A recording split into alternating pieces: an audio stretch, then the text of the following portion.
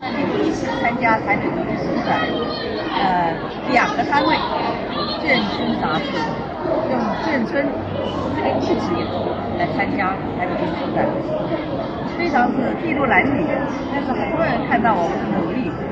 所以台北市文化基金会它有一个眷村部，看到了。他认为他可以跟我们合作，所以我们今年是跟政府的一个基金会，台北市文化基金会一起来合作，合租六个摊位。啊，最重要是我们今年的演讲的场次更多，有十三场演讲。我们其实最重要的还是呃围绕着我们眷村大背景的一个，就是一九四九，一九四九是一个非常重要的一个年份，很多人。认为它是一个呃耻辱的、一个年代，可是也有人认为是一个值得赞颂的、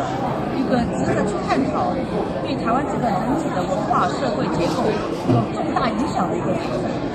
无论在对岸，一九四九四月一号成立中华人民共和国，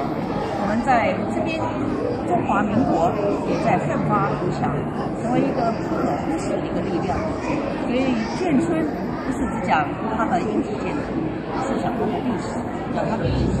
也是讲它的未来。最重要是两岸的历史，都是要去了解。谢谢。